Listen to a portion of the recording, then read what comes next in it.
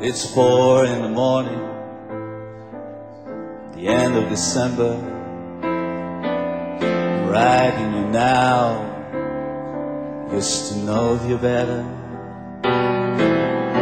New York is cold, but I like where I'm living. There's music on Clinton Street all through the evening.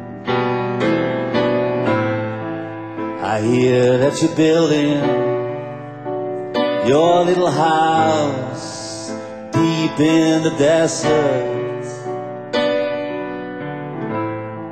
You're living for nothing now. I hope you're keeping some kind of record. Yes, and Jane came by with a lock of that you gave it to her that night that you planned to go clear.